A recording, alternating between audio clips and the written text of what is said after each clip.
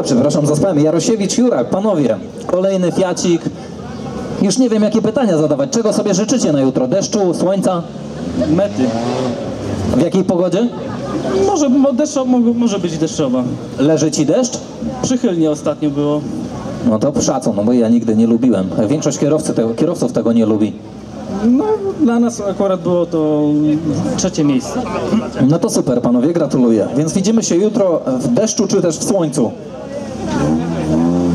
Dla mnie deszcz, a dla ciebie słońce, czy jakoś tak leciało. Ja wolę deszcz zdecydowanie.